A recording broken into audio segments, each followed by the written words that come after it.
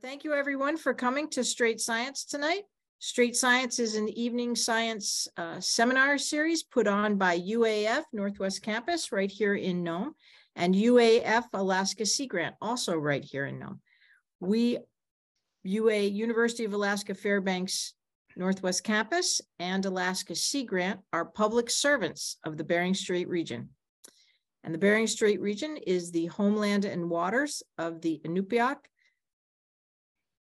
Yupik and St. Lawrence Island Yupik peoples.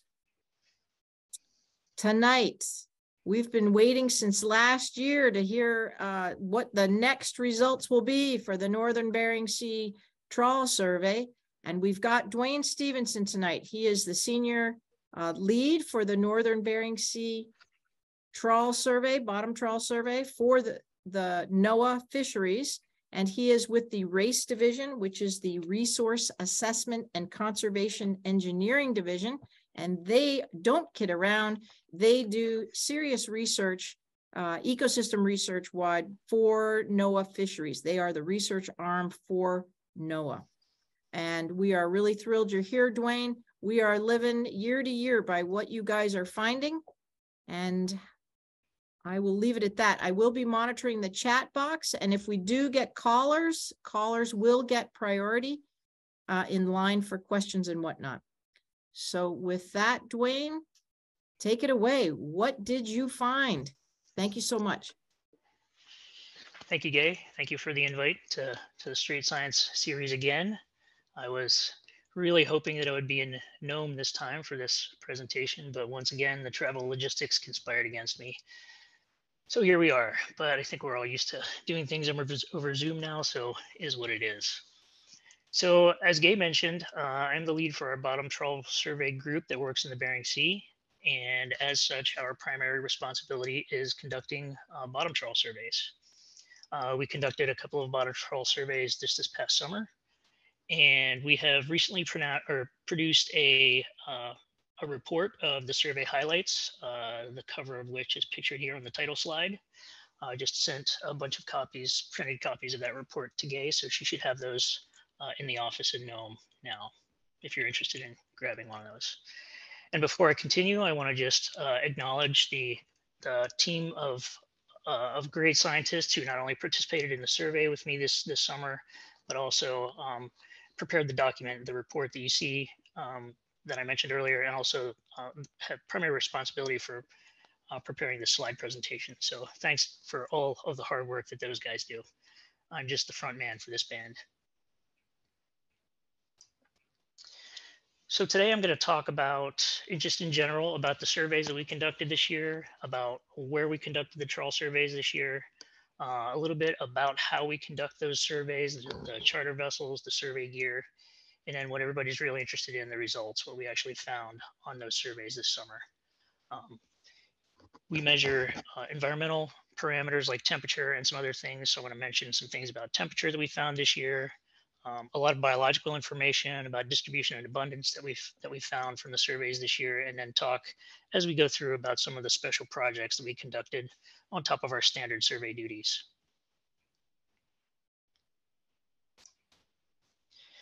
This is just a reminder to me and to everyone else that our responsibility um, with NOAA Fisheries is uh, to be stewards of the marine ecosystems of Alaska and uh, to conserve and protect those ecosystems to the extent that we can, conduct the science that helps us to protect, protect those resources.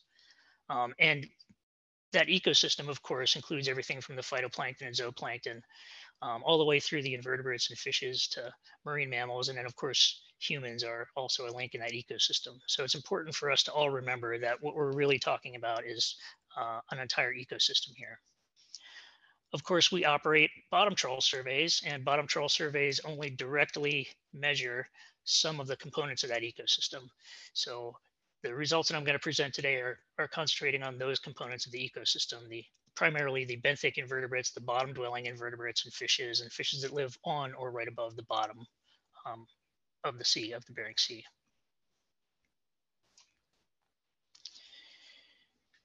So here's a map of our survey area.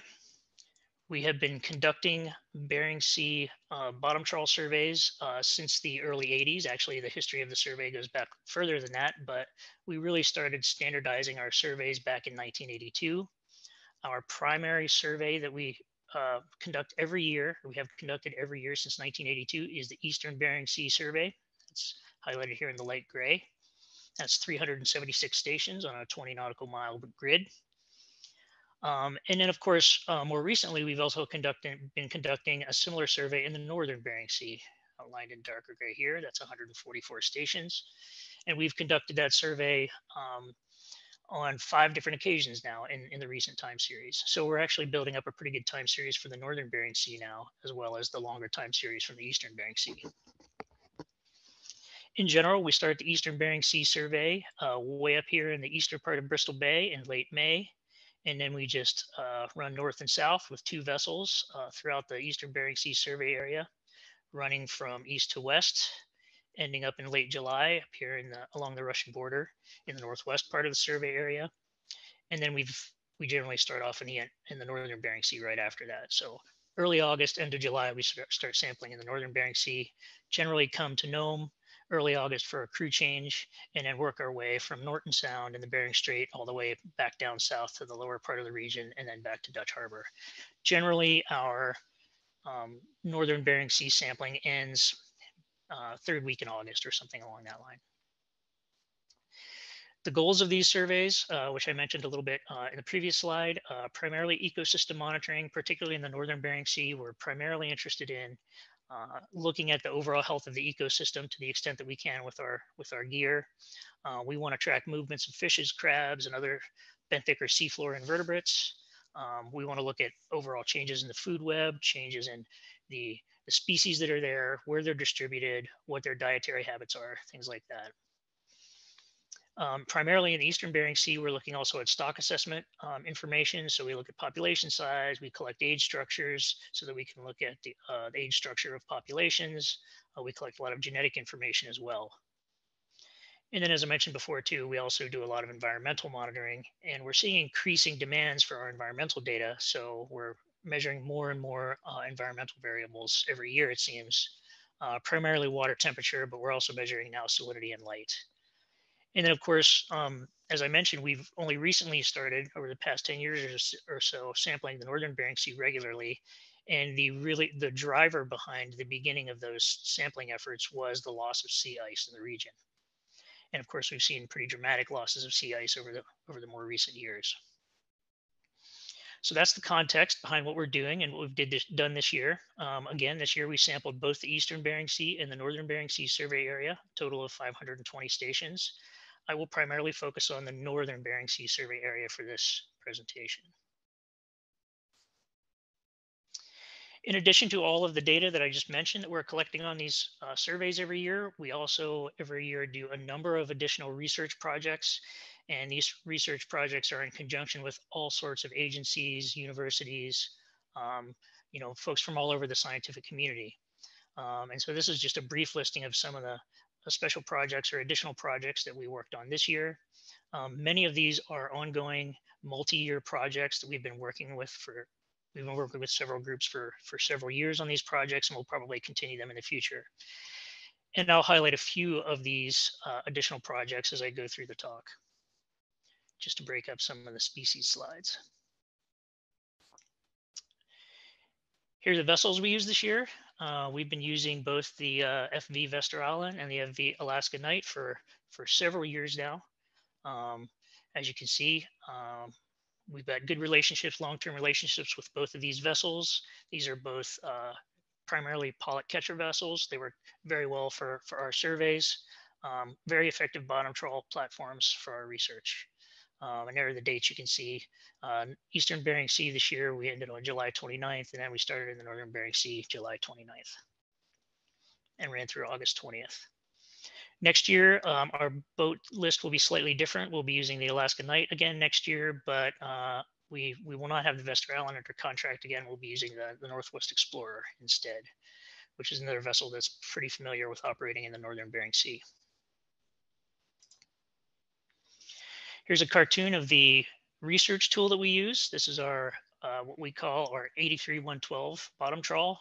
83 because the bottom rope of the net is 83 feet long, or sorry, the top of the net is 83 feet long and the bottom rope of the net is 112 feet long. That generally gives us a net spread of about 50 feet. Um, generally, when I talk to people about the size of this net, they either think it's a gigantic net or they think it's a super tiny net, depending on your your um, perspective. Um, if you're a if you're used to commercial nets, this is a much much tinier net than what they generally use. Uh, so again, the, the horizontal opening of the net is right around 50 feet. The vertical opening of the net is somewhere around six to 10 feet generally. So we're not sampling the whole water column here, just sampling the lower six to 10 feet of the water column. So this is a depiction of the bottom temperatures that we see when we're out on the survey. So every time we put the net in the water, we have a thermometer of sorts on the net, and that thermometer is taking temperature measurements every, I believe every three seconds. And so we then average those temperature measurements from the bottom and get an overall mean bottom temperature from each of the trawls that we conduct in the survey area. And these real-time temperature data have become very important. Uh, some people are really interested in getting these temperature data as they come, become available. So we have uh, made this a product that we try to um, get out to the public uh, on an almost real-time basis. And what that means is that we send the temperature data on a daily basis back to Seattle. They get uploaded to a website and they're and they're then uh, disseminated to the public on a on an almost real-time basis. And then what you can get is this sort of march of temperature data showing you know what the track line of vessels were. Um, a for Alaska Knight, V for Vesteraalen. So you can see where we went um, and what the temperature, the bottom temperatures were that we measured there. So that's a very interesting uh, product that has gotten a lot of um, uh, good press lately.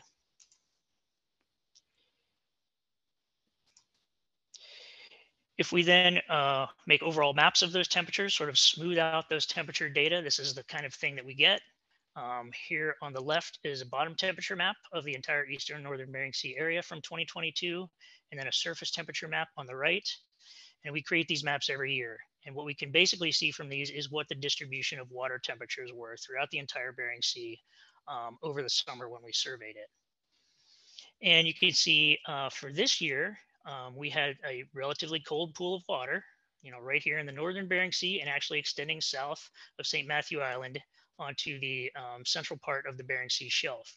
Now, this is interesting because over the past several years, we haven't really seen much of a cold pool, certainly not extending down into the uh, eastern Bering Sea survey area.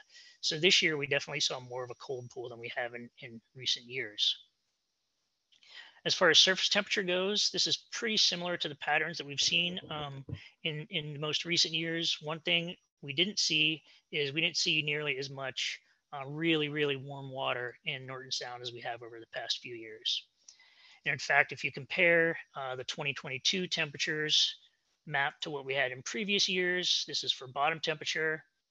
Um, I'm going to talk in general throughout this talk of, about these five survey years. 2010 was the last really cold year that we surveyed the whole survey area, so the eastern and northern Bering Sea. Then, as, as many of you, of course, are, are well aware, 2017, 2019 were really warm years where there's very little sea ice, and then 21 and, and 22 have moderated a little bit more. And so what we see there in terms of bottom temperatures is that this, this cold pool, what we call this cold pool in these cold years really covers a large portion of the Bering Sea.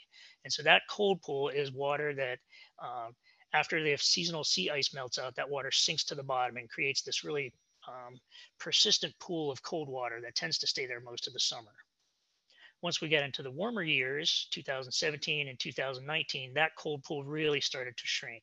And 2019 was the year that we saw the smallest cold pool of any year that we've done these surveys. However, we saw a little bit more cold water in 2021 and even more so in 2022. So in general, the temperature pattern that we saw on the for the bottom temperature of the northern eastern Bering Sea survey area in 2022 was pretty similar to what we saw in 2017 certainly wouldn't call it a cold year, but we're it certainly looked like the temperatures were are, are moving back to, to sort of the long-term mean. And we see a similar pattern with the surface temperature. Um, we don't um, think about the surface temperatures quite as much as we think about the bottom temperatures because the organisms that we're sampling are really experiencing the bottom temperatures.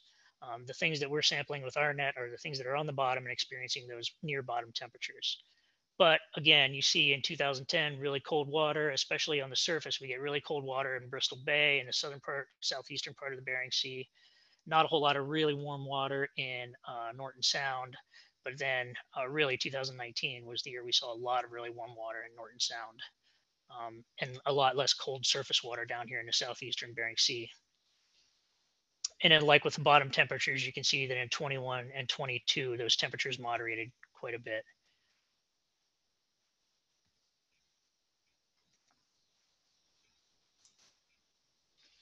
So once we take uh, once we take a mean temperature, both a mean surface temperature and a mean bottom temperature from each of our bottom trawls, we can then uh, sum all those temperatures up and get an annual mean.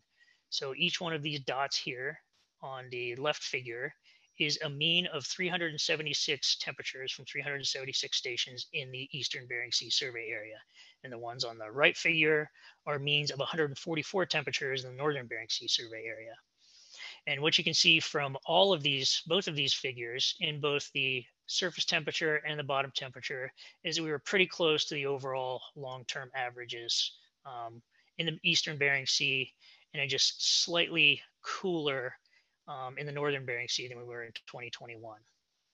So again, these are telling us, these temperature means really are telling us that as taken as a whole, the entire Bering Sea survey area was a little bit cooler this year than it was last year and very similar to the overall uh, long-term mean of our survey time series. So certainly not nearly as warm as what we had in you know 2018, 2019, um, much much closer to the overall long-term average.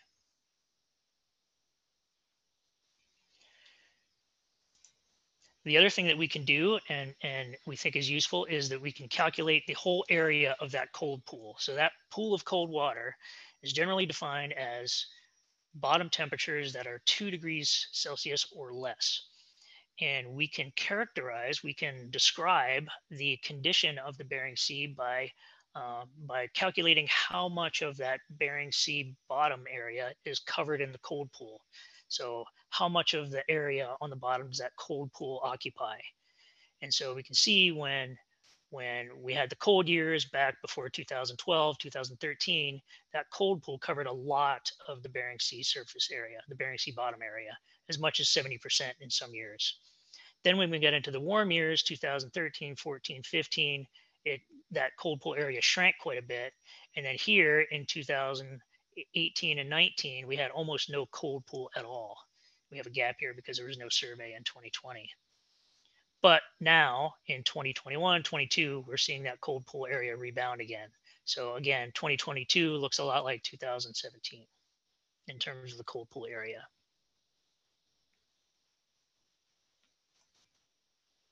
Okay, um, so that's the temperature data. Um, on to the biological stuff.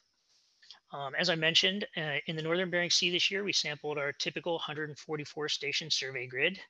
Um, thanks to Gay and everyone in the in the Bering Strait communities who helped us out with the logistics of of the survey this year and for creating a great uh, environment in which to do research. We length a lot of fish. We measure the lengths on a lot of fish every year, almost 45,000 total lengths of fish collected in the Northern Bering Sea survey area this year, and almost 200,000 in the Eastern Bering Sea survey area. So we measure a lot, a lot of fish. So the length data that I'm going to show you later on are based on pretty big sample sizes in most cases. We also collect a lot of otoliths. These are the ear bones that we collect so that the fish can be aged. Um, we collected almost 1,700 otoliths from, and that's pairs of otoliths from the uh, Northern Bering Sea survey area this year. And those uh, those come back to Seattle and go to our aging group, and our aging group can then uh, uh, determine the ages of those fish, and we can determine what the age structure of our populations are. And that's very helpful when we um, are examining the health of those populations to look at, uh, at, what the age structure is. And again, a lot more of those uh, otoliths collected in the Eastern Bering Sea.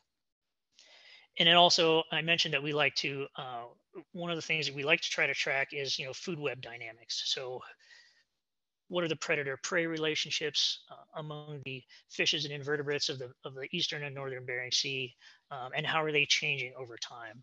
And the way that we can do that is by collecting uh, hundreds of stomach samples. And so we collected again over 500 samples of stomachs from, from several species of fishes this year. So a lot of collecting, a lot of data. All right, so what do the data look like? So I'm gonna I'm gonna scroll through many species now um, of interest, I hope. And I'm going to show you two slides for each species. The first slide is going to show you the overall species distribution um, on the top. And again, we got five panels here showing 2010, which was the cold year, and then 2017, 19, 21, and 22, just so you can get an idea of what the general distribution change has been, if there has been one, over the essentially the Northern Bering Sea time series. And then down below, we have uh, the biomass, the overall biomass, which is the total estimated population weight of that species um, in this sort of bluish green color from the eastern Bering Sea and in the dark blue from the northern Bering Sea. And the reason we do that is so that we can show you what the trend is, the long-term trend for um, biomass for the overall population mass for the eastern Bering Sea as well as the northern Bering Sea and then you'll see the, uh, the percent change for each of those regions as well. So this is yellowfin sole. Um, yellowfin sole is a pretty widespread species in the Bering Sea, as you can see from these distribution maps. We have not seen a major change, I would say, in the distribution of yellowfin sole over the um, time series, and you know certainly not a huge change in the distribution of yellowfin sole in the northern Bering Sea. Um, as you can see here down below, the uh, population biomass for uh, yellowfin soles has been relatively stable over the past four or five years, both in the eastern and northern Bering Sea. And I think that this is perhaps the only species of fish that was actually increased in biomass this year in both the eastern and the northern Bering Sea. So we saw about a 25% increase in the biomass in the eastern Bering Sea and then a 10% increase in the northern Bering Sea. Of course, the biomass in the northern Bering Sea is quite a bit lower than the eastern Bering Sea, um, but they both increased this year. And then this is the second slide of the series uh, for yellowfin sole. And in these slides, I'm going to be showing you the length frequency distribution on the left for just the northern Bering Sea. And this just gives us an indication of how many fish we're getting at each size class. So size class, fork length on the on the lower axis, and then the um, the total estimate in terms of the population, the extrapolated population for the entire northern Bering Sea surf, uh, survey area is is on the y-axis. And again, for those five survey years. For yellowfin sole, we generally see these two um, major modes in the size distribution, these two large humps. Um, and that was seen again in 2022. We're not really seeing any change in the size distribution of yellowfin sole over the years. Generally, very, very similar throughout the time that we've been surveying the northern Bering Sea.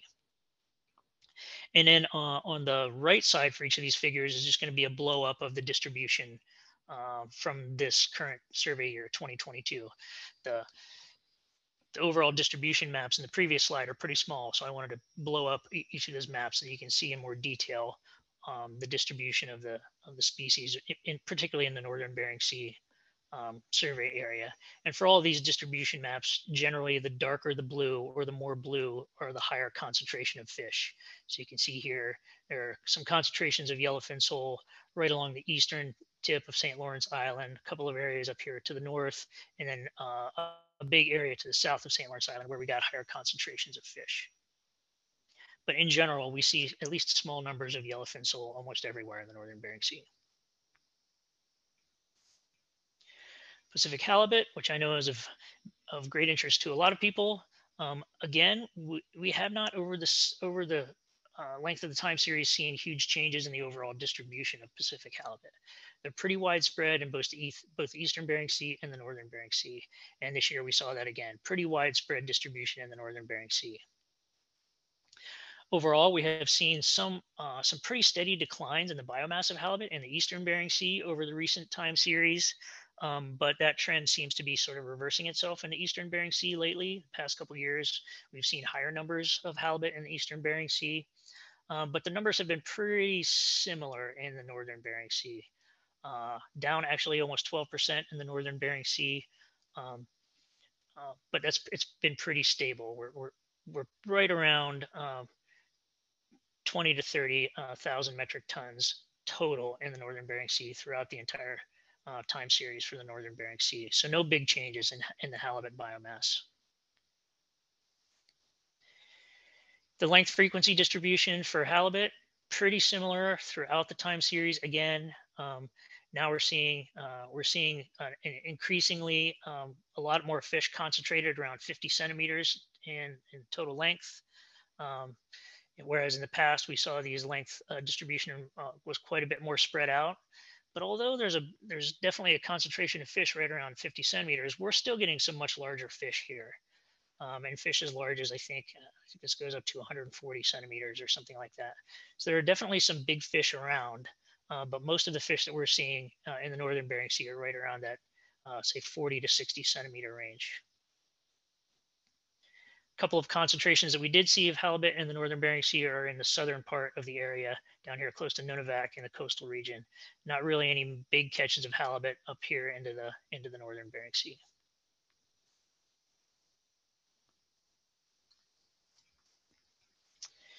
Okay, let me talk about one of our special projects briefly that we've been working on for a few years now. Um, we have a fish physiologist on staff who wants to help us look at fish condition. Um, and so there are a number of ways that you can measure fish condition and fish condition is an important thing to measure because we want to look at the health of these fish um, in more ways than just how many of them are there. So one way to measure the health of a population is what's the overall abundance? How many are there? What's their overall biomass? So how much weight total is that does that population consist of? But another thing that you can do is measure, find ways to measure the health of individuals within those populations. Historically, what we've done is just measure the overall length, the overall weight of a fish. And the fatter the fish, the healthier it is. The skinnier the fish, the less healthy it is. But that's a short term measure and can be confounded by things like how full the stomach is. So we want to try to find other ways of measuring fish condition over, a, over the long term to determine whether these fish that we're seeing out there are really healthy or whether they're suffering stress. And so we can measure that in several ways. One by this thing called a fat meter, which is this um, instrument right here which measures fat and lipid content in, in the liver or in the muscle tissue. Uh, we've also started taking blood samples uh, to measure several different um, aspects of the physiology of halibut, looking at things like uh, hormone levels, uh, stress uh, response, things like that. And then also we're looking at um, some antifreeze proteins to see um, whether uh, the, the level of antifreeze proteins in, in cod um, are stable over the long term. And so this is a, a, series of projects that we started working on a few years ago and collected a lot more samples for this year. Um, so we're excited about getting the results of those sometime, hopefully within the next year or so. And we'll, uh, we'll continue with these projects um, into the future so we can really start getting some insight into, into what kind of shape those fish are in out there. Continuing on with uh, flatfish, here's northern rock sole. The interesting thing about northern rock sole, um, we don't really see huge numbers of northern rock sole in the northern Bering Sea. Uh, we see relatively small numbers throughout the northern Bering Sea survey area, no real large concentrations. Um, it has been the overall population levels have been declining in the eastern Bering Sea for a number of years now, although this year we saw an increase again um, and much lower levels in the northern Bering Sea, and we actually did see a decline in the in the northern Bering Sea this year. So this this species, the northern northern rock sole, uh, mirrors what we see what we have seen this year from a lot of species of fishes in that um, an increase in the biomass in the eastern Bering Sea and a similar decrease in the biomass in the northern Bering Sea, indicating that probably what we're looking at is, is some movement of fish between the northern and eastern Bering Sea survey areas. The interesting thing about northern rock is that in 2017, we saw this big pulse of recruitment here. We saw these this big bunch of, of relatively small fish, somewhere around 12, 15 centimeters. And then uh, we saw those fish again in 2019, a lot of really small fish. And most of those fish were down here in the southern uh, Bering Sea survey area. Um, we think there was a successful year class that that settled out here in this uh, southern part of the survey area and persisted through 2019. But over the past couple years, we haven't really seen those fish in the northern Bering Sea again. And again, that's you know that doesn't mean necessarily that those fish are gone. It just could mean that those fish are in the in the eastern Bering Sea now instead of the northern Bering Sea.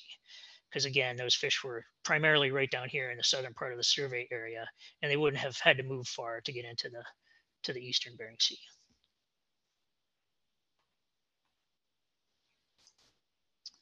Alaska plaice is a species that's very abundant in the in the northern Bering Sea. We see we've we've always seen large concentrations of Alaska plaice in the northern Bering Sea. You can see that by these really these huge clouds of dark blue up here, uh, you know, to the south of St. Lawrence Island and to and to some extent to the north of St. Lawrence Island as well. And those that distribution pattern has been persistent throughout the time series, whether it's a cold year or a warm year. Um, and generally, the, the biomass that we see in the Northern Bering Sea has been relatively consistent as well. This year, it's actually down a little bit, down 13%. And you'll see that the EBS biomass is actually up 15%. And as I mentioned before, this is you know probably if, if you combine the Northern and Eastern Bering Sea population levels together as one number, um, they're pretty similar between the two years. Um, it's just that there are some some more fish in the Eastern Bering Sea and fewer fish in the Northern Bering Sea.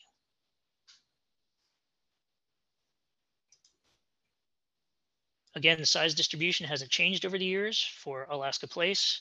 Um, like some of the other flatfish, we see these two humps. We see a, uh, a lot of fish right here in that 10, 12 centimeter size range. And then for Alaska plaice, we see a lot of adults in this 35 to 40 centimeter size range. Distribution concentrated this year south of St. Lawrence Island. Lots of Alaska plaice right to the south of St. Lawrence Island and even to some extent up, up, up north as well and this species generally is one of the more cold tolerant species in, in the Bering Sea. So that's why you see the, the distribution of this species kind of following where the cold pool is to some extent. That cold pool extends down the middle of the eastern Bering Sea shelf, and that's where you see concentrations of Alaska plaice as well.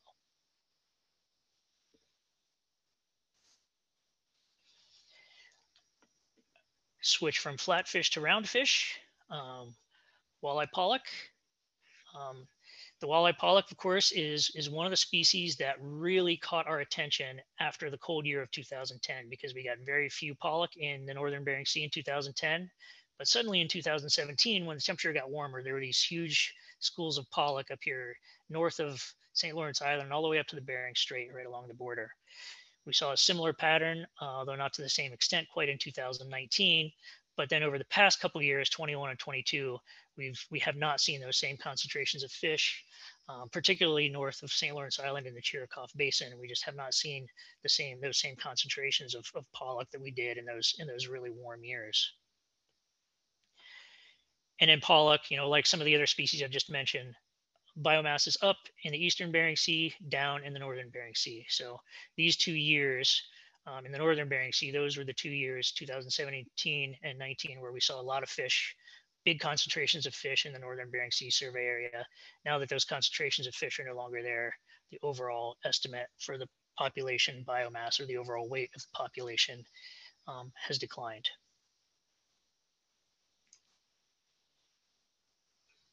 Length distribution hasn't necessarily changed over the years. The size of the humps in terms of you know the overall number of fish is changing, but we're generally getting this, these small fish, one year olds, these generally are, and then the larger does well.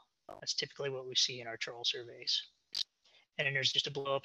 And we did see some numbers of fish right up here near the Bering Strait, which may be significant.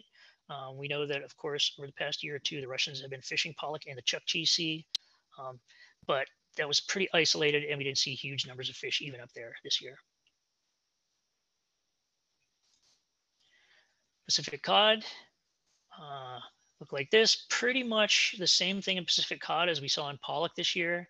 And again, that same pattern where very few cod in 2010 in the northern Bering Sea. Then in these really warm years, there were cod all over the place up in the northern Bering Sea, uh, particularly 2019, where we saw huge numbers of cod um, all the way up to the Bering Strait. And then again, like pollock, with over the past two years, we've really seen declines in at least those really northern um, populations, those those northern uh, schools of, of cod. We still see a fair number of cod to the east side and the south of St. Lawrence Island here, some pretty good concentrations there. But over the past couple years, we're not seeing the same fish to the north all the way up to the strait as we did in those really warm years. And then again, cod is another one where we see an actual increase in biomass in the eastern Bering Sea and a slight decline in biomass in the northern Bering Sea.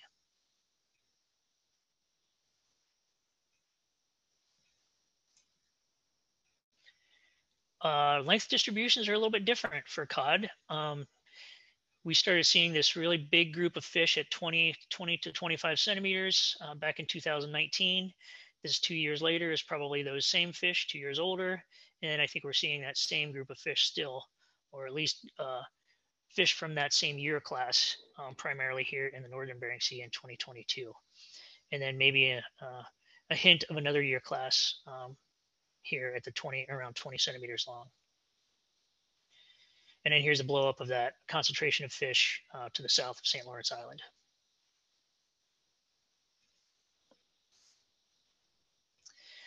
Second special project I want to talk about, and that you've, if you've been to these Strait Science talks that we've given for the past few years, you've heard about our pop-up satellite tagging project.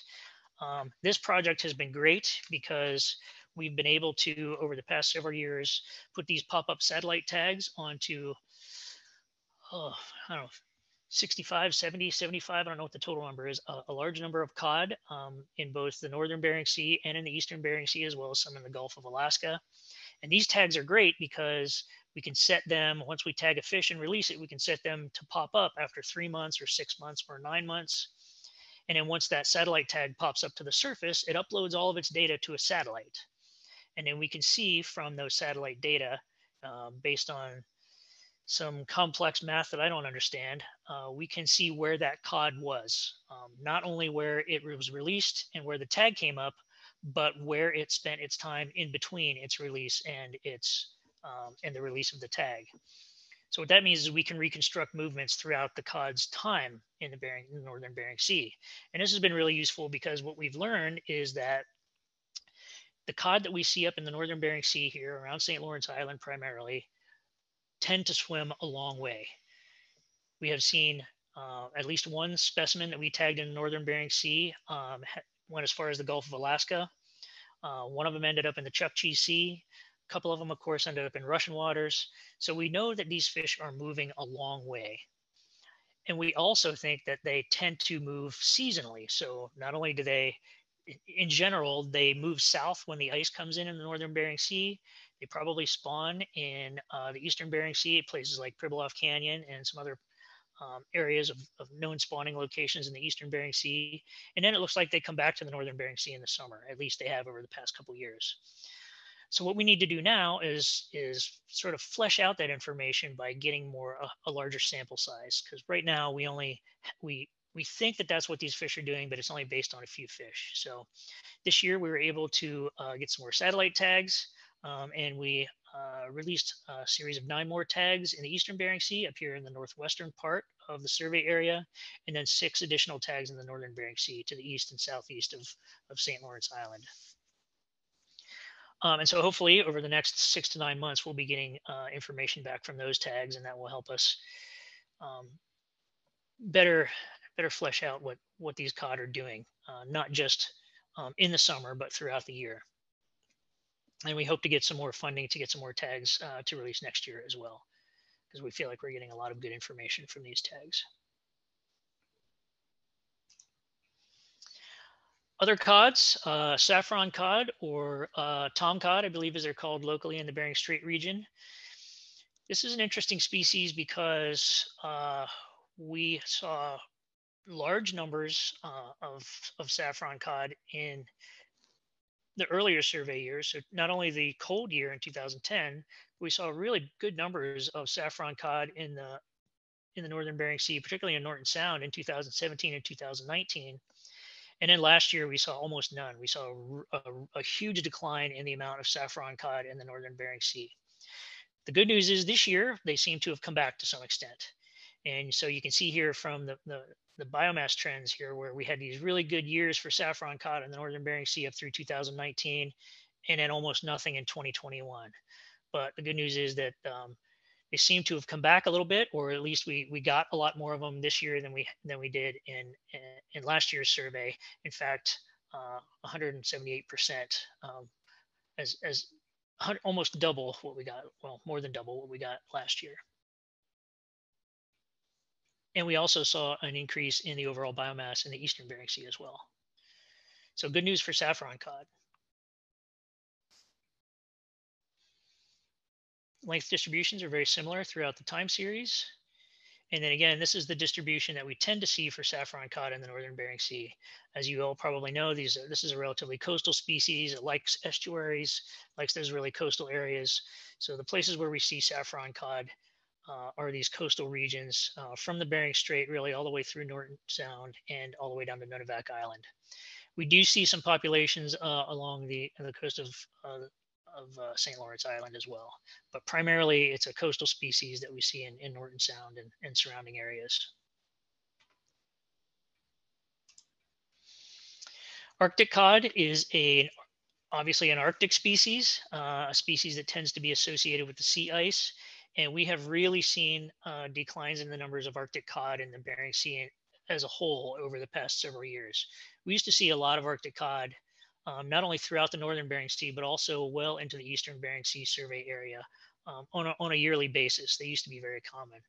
But in, in recent years, when the sea has Bering Sea has warmed up, we've seen a steadily um, recession, I guess I would say, a retreat of their distribution area to the north um, really strong retreat in 2019. And we're kind of just getting some hints that they may be moving back south again, or at least some of them may be moving south again. Um, we're still not seeing any Arctic cod in the Eastern Bering Sea survey area, but we are starting to see some more in the Northern Bering Sea survey area. Uh, four times as many this year as we saw last year. Still not huge numbers, but it looks like the colder water is allowing them to come back into the Northern Bering Sea a little bit at least. Length frequency distribution is not really very informative for Arctic cod because they're all essentially 10 to 20 centimeters long. And again, we're seeing really small numbers still. Uh, so there's not really a lot of information there. Crabs. Uh, talk about a few species of crabs here. Uh, red king crabs, another sort of a coastal species that, at least in the northern Bering Sea, we primarily see in uh, Norton Sound. The overall distribution hasn't changed throughout the survey time. Uh, the numbers have wavered around a little bit. Of course, we've had um, pretty serious declines in uh, overall king crab numbers in the eastern Bering Sea. Uh, a little bit more this year than last year, but still the, the population, it looks like numbers are pretty low in the eastern Bering Sea. And uh, uh, and also declined a little bit in in the northern Bering Sea. Uh, the numbers in the northern Bering Sea of red king crab have always been quite a bit lower than in the eastern Bering Sea, um, and they and they did decline a little bit again, about a third from 2021 to 22. But the overall distribution is similar. Most of the crabs that we are seeing are in the 50 to I guess 120 centimeter um, carapace length range or millimeter carapace length range. Seems the the size distribution seems to be getting a little bit larger through time, but but not really changing a whole lot. And again, you can see the overall distribution here, primarily coastal Norton Sound and South Norton Sound.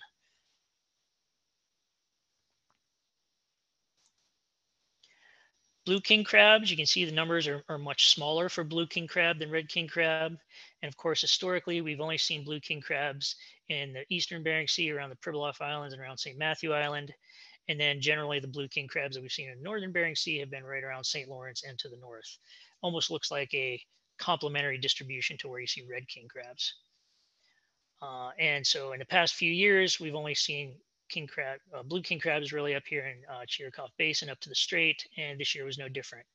Um, we did see a little bit of a concentration of blue kings right up here to the north on the north side of St. Lawrence Island this year, and overall a pretty healthy increase in the overall biomass estimate.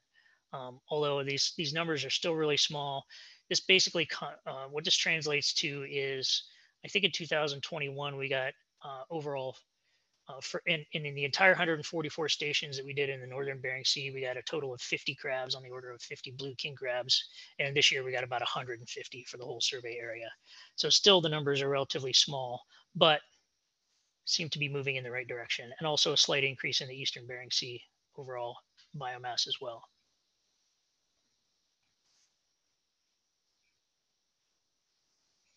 And the sizes are very are, are pretty uh, pretty well distributed.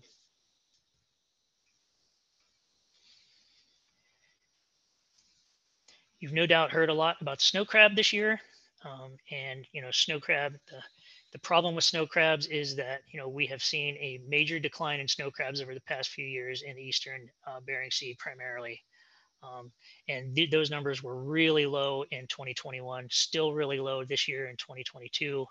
Um, we did see a slight rebound in the biomass in snow crabs in 2022, but still the numbers are relatively small. Um, and the interesting thing about the distribution of the snow crabs this year is we saw most of the most of the ones that we did see were up here to the north of, of St. Lawrence Island. So this is a major concern. Obviously, you've heard that uh, by now that the the season was canceled this year, and and uh, you know so that's the that's the decline that has sort of helps to explain that decision making process.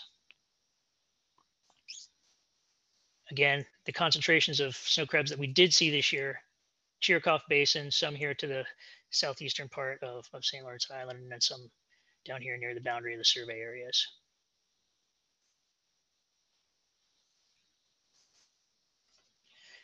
Back to some fishes. Plain sculpins. Um, we see uh, generally see a lot of plain sculpins throughout the Bering Sea. It tends to be a relatively coastal species, kind of like a saffron cod or something like that um, sort of like the very coastal areas, the estuarine areas, and that's where we see the biggest concentration of fish. Um, in the really warm years, the interesting thing that we saw with plain sculpins is some, a lot of them tended to move offshore a little bit. Um, for one reason or another, they weren't quite as coastal as they had been in, in the past.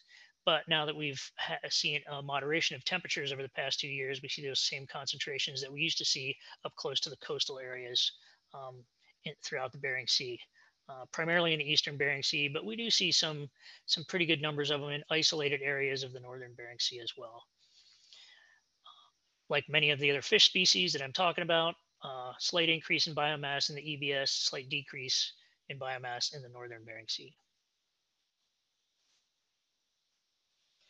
And then this shows that, that a couple of areas where there were slightly higher concentrations of, of plain sculpins.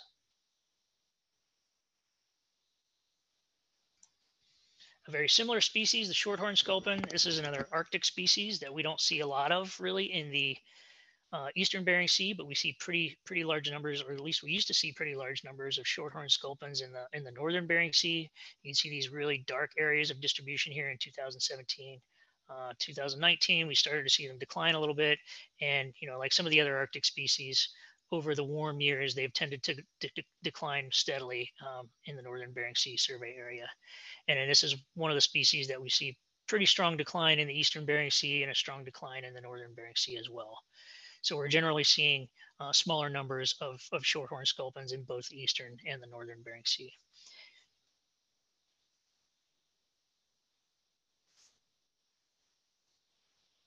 And this just sort of shows you those we had we had numbers to have a pretty good length frequency distribution in 2010 and 2017 but as we've seen further as, as we've seen fewer and fewer specimens we can't really um, create much of a length frequency distribution just because we're not seeing many of them. Another uh, special project that i want to highlight is uh, one that we've been working with gay on and Kathi Lefebvre at the northwest fisheries science center. Um, many of you in the bering strait region have no doubt heard um, uh, a lot about harmful algal bloom, blooms lately. Um, and of course, we want to do our part to, to help with the with the research effort in, in, figuring out what, what is actually happening out there with harmful algal blooms. And so, what we've been doing over the past few years is collecting some some uh, bivalve samples, some samples of uh, of clams and mussels and some other species, and then uh, getting them shipped um, to Gay or to or or to Kathi so that they can uh, uh, complete some analysis on those on those individuals to try to figure out what's going on with with that toxin. And that's a, a project that we hope to continue on, on with in the future as well.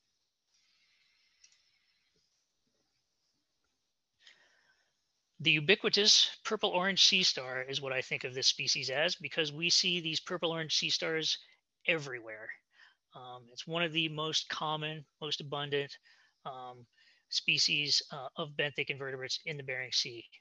And as you can see, the distribution of the purple orange sea star has changed very little over the past 12 years.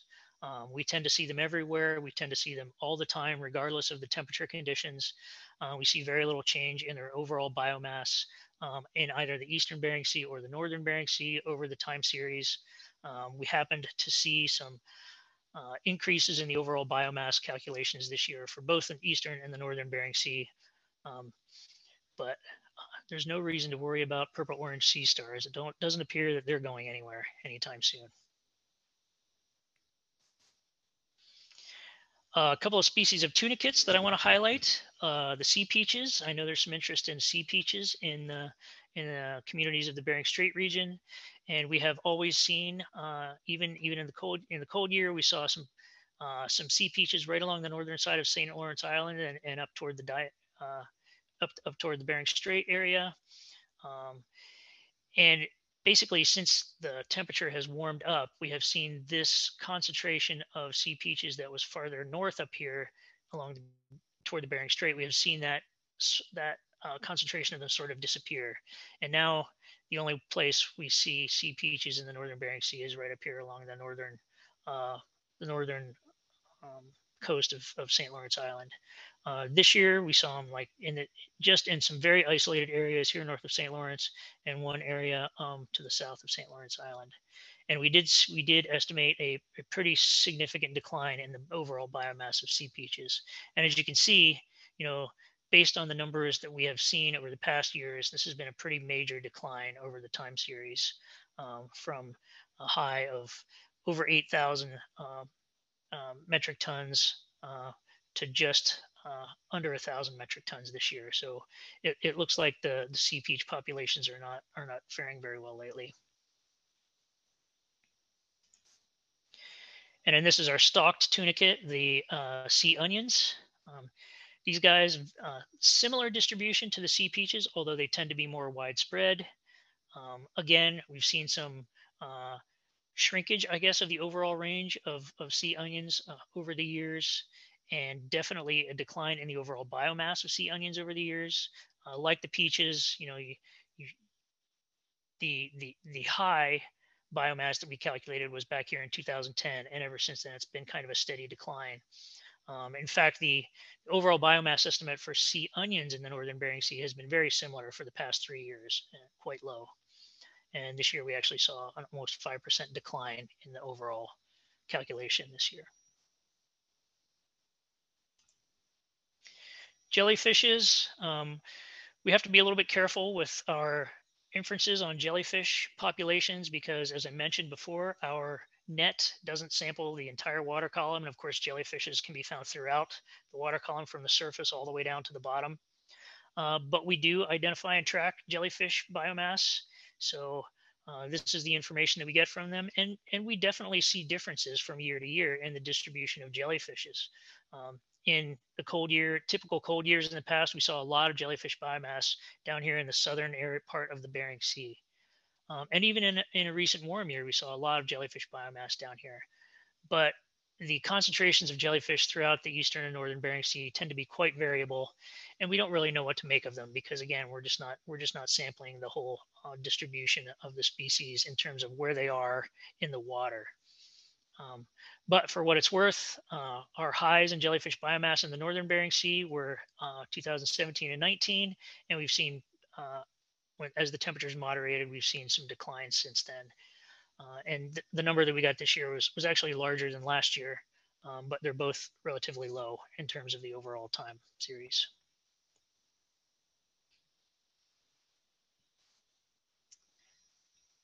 We see many, many snails throughout the Bering Sea. Um, in general, I think that snail populations, uh, and this one is a pretty good example of, of the snail populations that we see throughout the Bering Sea. We probably see, I don't know, 15, 20, 25, maybe different species of, of snails uh, on the Bering Shelf Survey.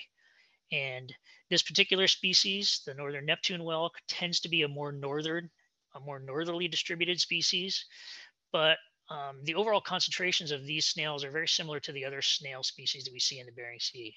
They tend to be throughout this sort of middle domain area between at depths of say 50 to 100 meters.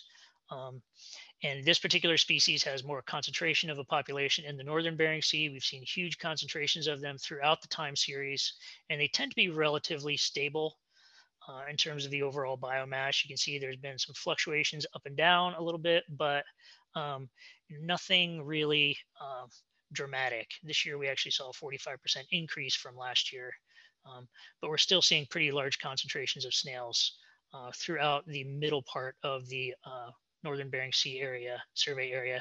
And actually, we saw, uh, it looks like we saw a pretty good concentration of them way up here in Norton Sound this year as well.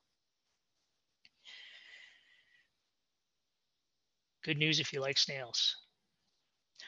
All right, and I just want to finish up by uh, talking about a few uh, odds and ends in terms of fish species. Um, I know there's a lot of interest in the region in snail fishes. Um, we see uh, several species of snail fishes in the northern Bering Sea and in the eastern Bering Sea. Um, and uh, the distribution, overall distribution of these species, um, uh, it, it, looks like it hasn't really changed that much. I mean, some years they tend to be more widely distributed than other years where they're uh, a little bit more concentrated.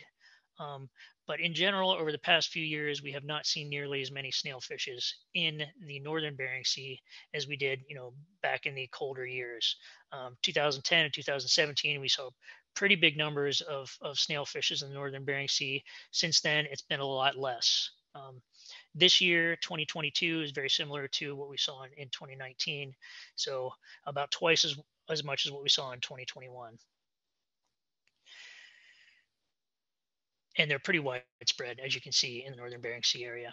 We see snailfishes pretty much everywhere except for those really, really coastal areas.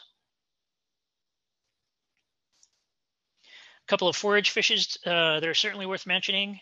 Uh, we saw an interesting thing with herring this year in that uh, you know, the biomass uh, for herring this year in the Eastern Bering Sea went way, way up. Uh, we saw many, many more herring this year than we have in the past. Um, you can see that those those herring uh, populations were concentrated here in Bristol Bay and along Nunivak Island. We didn't see those same uh, large concentrations in the northern Bering Sea that we saw in the eastern Bering Sea. And so actually the, the, the biomass estimate for the northern Bering Sea actually declined quite a bit but we saw many, many more herring this year in the eastern Bering Sea than we have um, in recent years. So overall, it seems like the, the herring population uh, is doing well, but they're distributed a little bit more southerly than they have been um, in the previous couple years. Oops, sorry, went backwards. Capelin is another widespread, relatively widespread uh, forage fish species, and uh, we just haven't seen the same numbers of capelin in the northern Bering Sea that we saw back in the cold year in 2010. So big concentrations of capelin in 2010, and very small numbers of capelin ever since then. And 21 and 22, very similar.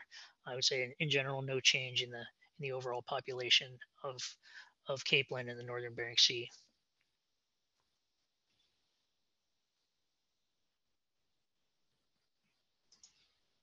And I think this is our last one, uh, rainbow smelt, which is another one of those very coastally distributed species, another species that likes to live in brackish water, to live in estuaries, to live right along the coast. Um, and that's the distribution of fish that we see here, and particularly in the northern Bering Sea, where we see them in Norton Sound. Historically, some relatively large concentrations of rainbow smelt in Norton Sound and the area around Norton Sound. Um, they tend, it looks like they tend, they're on a downward trend in the past couple years. We have not seen nearly as many um, rainbow smelt in the northern Bering Sea as we have in the past. Uh, another decline in 2022 from 21, and we saw a big decline in the northern Bering Sea from 2019 to the 2021 survey. Um, and then this is one of those species where in the in the EBS there's a real big decline, in the NBS there's a decline as well. So this is a species that's actually declining in both regions. It looks like.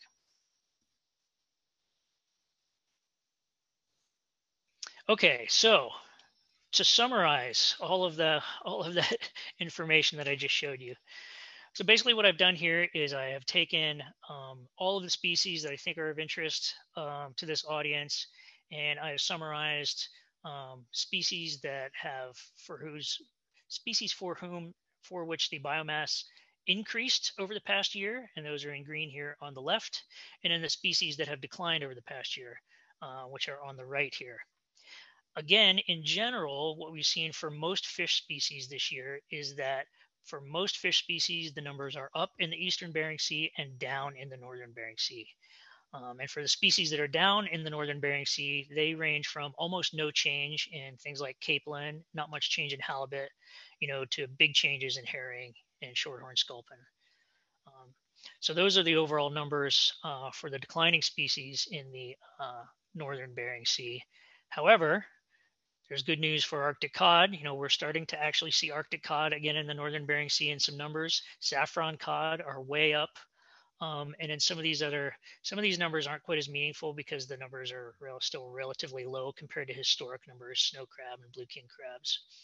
Um, but there are definitely some species that are up compared to last year, and then a lot more species that are down in the northern Bering Sea compared to last year.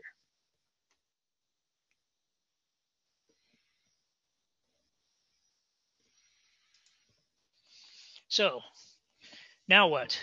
What do we do next? Well, our hope is that next year we will be able to, in the summer of 23, uh, repeat the full Eastern Bering Sea and Northern Bering Sea survey. We hope to do basically next summer exactly what we were able to accomplish this summer, the 376 station Eastern Bering Sea survey and the uh, 144 station Northern Bering Sea survey. Uh, as I mentioned before, there's a slight change of cast in that we will have the Northwest Explorer next year instead of the uh, Island. Uh, we hope to continue with a lot of the same special research projects that we conducted this year uh, on into the future, including all the projects that I that I highlighted, the fish condition project, tagging project. We hope to get some crab tagging going so that we can learn more about crab movements. Uh, harmful algal blooms are something that, of course, are still going to be of interest and, and a number of other projects as well one of the things that we're hearing everybody um, that everybody is interested in in in learning more about what's happening north of the Bering Strait. Um, obviously, we're seeing a lot of species whose distributions continue all the way up to the Bering Strait, and we don't really know much about what's happening north of there in the Chukchi. Uh, again, we know that the, there, there are pollock in the Chukchi Sea because the Russians have been fishing them there. And so we're kind of in the early planning stages of figuring out how we can um, get some additional survey work going in the Arctic, in the Chukchi or in the Beaufort. Uh, we don't have any funding for that yet. We don't uh, really have concrete plans for that yet, but we're definitely aware. We hear the that the, the need is there and that people are interested in that information. So we're, we're definitely starting to think about it, and we'll probably uh, be asking for some some feedback and input from the from the Bering Strait communities uh, sometime in the future. And then I mentioned this uh, final as a final sort of parting thought. I wanted to uh, just put a plug in here for our public uh, survey database application, which is known as uh, the Fishery One Stop Shop or FOSS. Uh, anyone who's interested in getting our data um, can go to that URL, and there's a really slick user interface there where you can pick your species, pick your time frame, pick your region, and pull down all the survey data that you want. Um, so that's a really nice thing, and we're really proud of that, and hope that a lot of people will uh, will go there and find the information that they need. So I want to thank uh, a lot of people, um, primarily Gay for, for helping us set this up, and Gay and the uh, Bering Strait communities and organizations that have helped, again, with the logistics and coordination of these survey efforts, and have really created a, a great environment in which to do this research. We really, really appreciate it. Uh, obviously, this survey um, requires a lot of people at sea and a lot of support staff on land. So I want to thank everyone who participated in the survey and who helped support us on on the on the land side as well. And then finally, again, I wanted to um, reiterate my my thanks to the Bering Sea document prep team. I showed all their photos uh, in the second slide here. Um, couldn't have done any of this, and none of the none of the slides would be as beautiful as they are without the uh, the hard work of those folks. So thanks to them. And that's all I've got, but I'll be happy to take some questions. All right. Well, thank you so much, Duane. And we really, really appreciate NOAA Race Division, you know, giving us first first look at what's going on in our backyard. So we very much appreciate your efforts, uh, your whole team. So at this point, this is when I say, while you're thinking of your question, be sure to throw some love at uh, NOAA Race Division and Duane Stevenson and his crew for not only um, doing what they do, but then I don't think they've had, I mean, if you look at, they finished their survey in September and this is the first week of November. It's a tremendous amount of work they've done and um, bringing it to us tonight. We very, very much appreciate that. Everyone here does. With that, does anyone have any questions? Put them in the chat. And we'll take Shall it I- from there. Shall I stop sharing? Um, it's Or up to you. up for now? If people might have a question about them, so you might want to refer back, but we'll see. Okay. There, I've got that one. That's, thank you. Um, well, while people are thinking of their questions, I have a couple. Oh, do you want to go ahead then? Okay. Well, you're, the- you're a guest. You should ask first. Thank you. This is Charlie Lean. I'm sitting in the room with Gay. Here you go. Um, wanted to say, uh, great presentation again, and thank you. That was really interesting. Um, I was, Frank and I were just commenting that we'd seen, uh, Tomcod in the boat harbor this year again, and, uh, Mhm. last year was very difficult to find a Tomcod in Nome, and, and so that, you know, just anecdotally, I guess, seems like that, you have that right. Um, I was wondering on some of the species like blue king crab where where they tend to inhabit areas that are really hard to trawl, rocky bottom, pinnacles. I mean, so some of those, that species in particular, maybe Hanasaki crab would be really hard to to index in a, in a good way. Um, and then, and then herring, something like herring, they're they're clumpy and they they're highly mobile, and so I, you know, I per, this, this year, the herring seemed to be more easily caught than last year from my, from my friends, but, but anyway, I don't know. I just wondered if you had any comments on that. Yeah, two things really. Um, the first thing, of course, is you know, as as I mentioned, what we're trying to to do here is is look at the overall ecosystem, and we don't we're obviously don't have gear that's necessarily optimized for any one particular species. Um, we get comments all the time about, well, you guys could you guys could catch a lot more pollock if you use this different net, or you could catch a lot more such and such if you use a different net. But that's not the point. The point is that we're, you know, we're trying to um, you know we're trying to survey and and uh, and um, and monitor just a, a huge number of species. So obviously uh, the gear is kind of a compromise. And of course, you know some species uh, we catch better than others. Um, some species we can. Um, you know, species that, as, as you correctly pointed out, for species that really prefer that hard bottom and rocky bottom, you know, you know, we have a tough time uh, getting to those species, and also for some of the more coastal species, um, that you know like for instance the, the the rainbow smelt that are really tight in toward the shoreline you know we can't really we can't really trawl in less than about 20 meters of water. So you know those species that may move in and out of those sort of intertidal or subtidal areas um, you know those are species that we can't necessarily always reach either.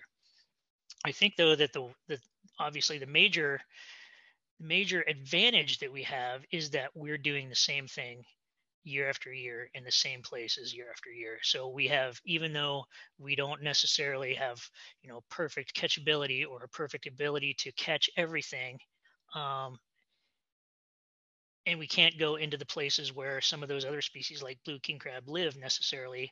We're doing it the same way every year.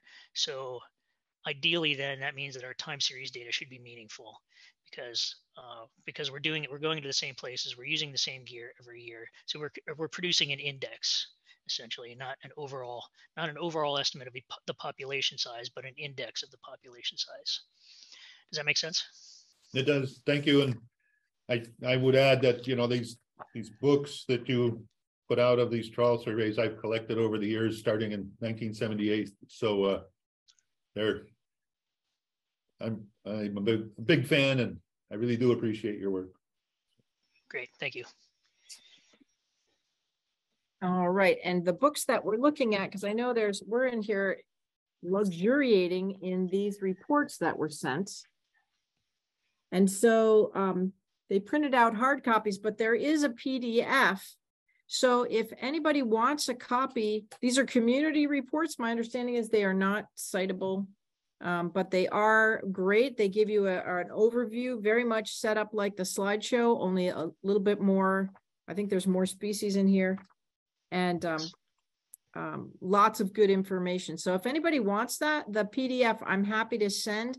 So if you can either, if you don't want your email out there for everyone to see, then just hit the in the chat instead of the blue button that says everyone, just hit that little arrow and you can get to to my name, Gay Sheffield, and you can put your email in there and it'll just send directly to me and I can email those or just dump it right there. So for everyone to see if you're interested in getting um, an electronic copy. And then Race Division does an awesome job because these paper copies, of which we're all excited about, are um, going to the communities because it is very hard to print out PDFs and be on the internet and everything else. The digital divide is extremely re real here. So um, with that, feel free to drop your email in the chat and get a PDF copy of this. And Stephanie Madsen has a question in the chat. Survey only occurs in federal waters, question mark. Coloring on the map looks like close to the pen peninsula Aleutians, it goes to the beach. Yes, the coloring on the map, of course, is kind of tricky to do at that scale. But in general, yeah, the, the survey occurs only in federal waters. I think we have a few stations that are right sort of on that the edge of that three mile limit. Um, but in general, federal waters. I hope that answers your question, Stephanie Madsen. Right, and I see you, Renee, putting in your email. So you'll get a copy of the PDF copy, electronic copy of the 2022 Northern Bering Sea Groundfish and Crab Trawl Survey Highlights. So that's a great thing. And Charlie's telling us he has a copy of the 1952 survey, so he will be probably offering that up on eBay at some point, I think.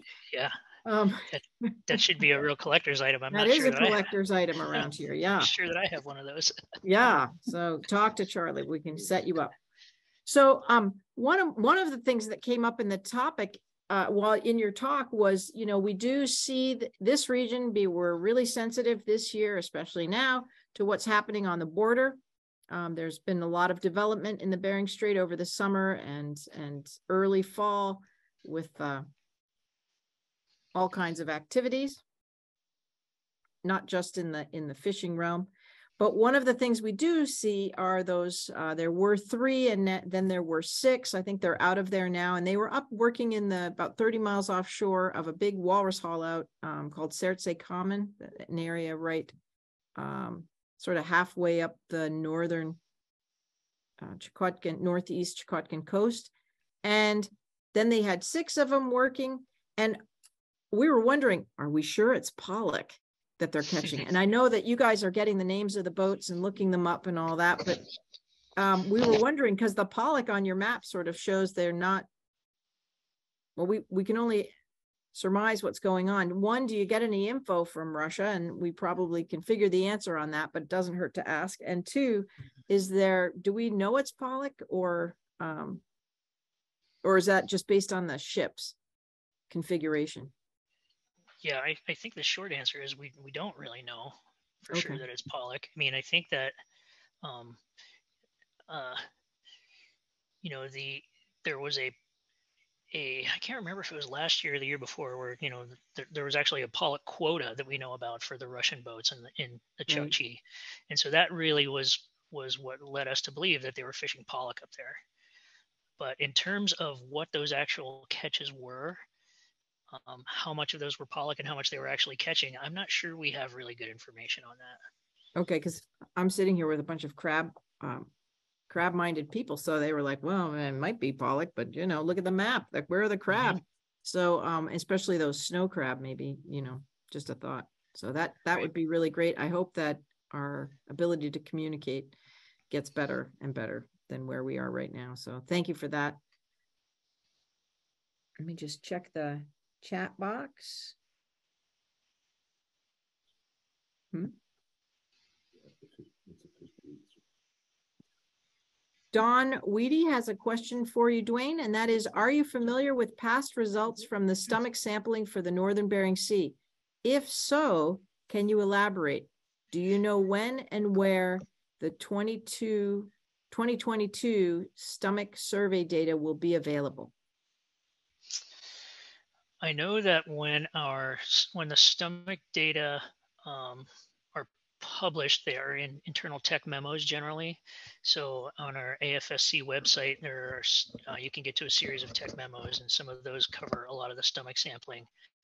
But it's it's of tends to lag a few years behind. So in terms of when this 2022 stomach data will be available, I'm guessing it's probably going to be a year or two before before we can actually get to that. Um, I can follow up with our with our uh, food habits lab on that and get more information for you. Um, but I think in general, it's a it's a couple years out. All right. I hope that that gets it for you, Don. Follow up with an email to me, Don, and I'll I'll check on that for you. All right. And then we have a question from Megan Gannon with the the Nome Nugget. Hi, Megan. Hi, can you hear me? Yes. Oh, great. My microphone is working this time. Um, thank you. Uh, thank you so much for that presentation, Duane. Um, I, I just had a question, kind of an, an annoying um, journalist human interest question. Uh, I was wondering if anything happened in this um, iteration of the survey that, um, I don't know, was, was sort of remarkable or surprising, even just sort of anecdotally, I don't know, any that, anything that might not end up in the uh, um, in the official report or in the data, but uh, or if you heard any stories from community members about um, population numbers, uh, yeah, even just from those kind of sources, uh, if you'd like to share. Thank you. Well, in terms of the actual survey, the people that were on the survey, the actual um, you know the operation of the survey itself you know of course the main thing we were concerned about this year was that stupid lingering virus um, that we've all been dealing with for the past few years. And we did, you know, we did have a couple instances where we had to make some uh, pretty last minute crew changes because of um, because of COVID issues. Um, but it wasn't nearly the issue that this year that we that it could have been that we were concerned about. Um, so I think we I think our protocols worked pretty well as far as that goes. Um, so that was the main thing that we were concerned about that uh, that I think went pretty well. Um, you know, we're also, you know, we also hear about all of the military activity that's happening in the northern Bering Sea and in the in the Bering Strait region, and all the additional ship traffic and things like that. And so that's that's another thing that we're always a little bit concerned about, you know, and that we might run into, you know, some military operations or you know some additional shipping operations that we weren't prepared for. But um, as far as I know from the folks that were out there, I wasn't I wasn't on the northern Bering Sea part of the survey this year, um, but um, but there was nothing out of the ordinary um, in terms of, of what they saw out there this year. So I think that um, if anything, overall, the survey this year, you know, went very well. It was very uh, sort of uneventful in terms of, you know, issues or, or problems or, or anything like that. Um, I, I've talked to Gay quite a bit on and off about about things that uh, you know the local community is seeing. Um, Gay's always sending me photos of things that get washed up on the beach, and I'm trying to help identify those things. Uh, so I do hear about um, you know lots of lots of uh, of anecdotal um, information from the from the local communities about you know what they're able to catch and what they're not able to catch, and you know it sounds like still there are a lot of things that um, that used to be in the area in abundance that are just not anymore. Um, and so so people are concerned about that. And i'm hoping that um, you know that our data can at least sort of shed light on some of that in terms of you know um, telling people how global not how global but how widespread those issues are.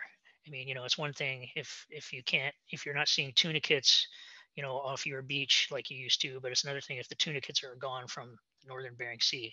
And i think that's the real value of our, our data from these surveys is is we can tell people how widespread these issues are um, and and help them get a feel for you know how how big of a problem it really is that seems like a long-winded answer to your question no that's great thank you so much So nobody fell overboard. Nobody fell overboard. Okay. Nobody was seriously injured. Everybody came back. That is, that's wonderful. That's always job one. Yep. All right. I had a cod question. And that was on the uh, cod tagging that you've been doing. You're, you sort of are catching them up here in the, it looked like from your, your slide, sort of northeast of St. Lawrence Island and east of St. Lawrence Island, just a little bit south. Do any Mhm. of those go further north? Yes. There's at least, I'm trying to, I'm trying to remember um, Suzanne McDermott's cod maps. And I believe Okay. that there, we have a record of one of those fish going into the Chukchi. All right, well, maybe I'll ask uh, Susan, it might be interesting, it would be very interesting to hear more about the, the movement of those tags, because uh, I was wondering, you know, do they, all where did they, do they all go south? But, but that's Yeah. interesting, one, one zapped up there, and these would be ad- adults you're tagging. Yeah, gen- gen- yeah, generally the fish that we put tags on, I mean, these are pretty big tags. So we found that they, you know, fish that are about 50 to 60 centimeters long usually do best with the tags. So that are, I don't know, those are like five or six year old fish, probably something like that. Um, but yeah, there was at least one who uh, that was that was in the Bering or in the Chukchi Sea at least for some period of time. But but primarily the movement we've seen has been to the to the south and to the west out toward the the shelf break. Right. Not seeing any other questions. You're getting lots of good kudos. We very much appreciate it. Um, I guess your survey ended in August in the Northern Bering Sea. And for those who may be on here from afar, know that we had the ex-typhoon Merbok kind of come and roll into this region with severity. And, uh, and it, the, I think the morning of Merbok, I was testing the temperature of the water here, and that would have been September 16, Merbok, 17. And the water temperatures in here off Nome were 51 degrees. And I, I, um, it'll be very interesting winter to see. We're about ready to have another big southerly series of two lows from the south. Is that right? Yeah, at S- least With some, with some heft. I mean, you know, Yeah. with some strength in the wind Hedging your bets on the from the south. We're unknown on the second, but uh, um, and so it's just going to be very interesting. Um, Rick Thoman gave Strait Science last week. It's on YouTube now, and uh, so interesting what we're headed into into this winter, and of course between you your work, Duane, the the race divisions, Northern Bering Sea, and and all that Rick Thoman gives us. It, it's and living here, it is just a wild ride right now to wait to see how this all plays out. So we know this is a work in progress and, and I'm, I'm interested in that you are looking, race divisions looking to going into the Chukchi. That, that is a big question mark for all of us here. And um, so we wish you well and we're, stay tuned, I guess, for everyone here. Thanks. And it sounds like you're going to hear more good information from Dan Cooper next week, right? Yes, so for next week's Strait Science, which will be on its re- sort of regular now, what seems a regular schedule, Thursday at six thirty Alaska time, we'll have Dan Cooper. He's also with the Race Division, the Resource Assessment and Conservation Engineering Division. And he will be giving the results of the He's gonna, he was on the surface trawl survey, which NOAA did for the Northern Bering Sea, but he's going to be talking. So it'll be actually interesting if you're attending this, attend the surface trawl survey because Dan Cooper's going to talk about the seafloor animals as well that were associated with the um, surface trawl survey. So it's as we're going to dig a little deeper into the benthos or the seafloor animals and ecosystem from a, a little bit different perspective. And uh, I, this is a, a sort of a novel thing that's been added to the surface trawl survey. Is that right, Duane? Yes. And so it'll be very interesting to hear the results as well for the work they did in the Northern Bering Sea, sort of a complement to this uh, presentation. And that'll be Dan Cooper on the 10th, which is next Thursday, same, same time, 10, 6.30. With that, again, drop your email in the chat if you want a PDF copy of the report. other than that, uh, Bering Strait communities are going to have them mailed to them. So that's really great. Again, thank you so much for all you do, Duane, all in you and your division. And of course, I didn't see if Lyle Britt's on here, but I'm sure the Bering Strait region would give him a shout out. Um, but he's probably occupied with something terribly important right now. Mhm. With that, thank you all so much for coming.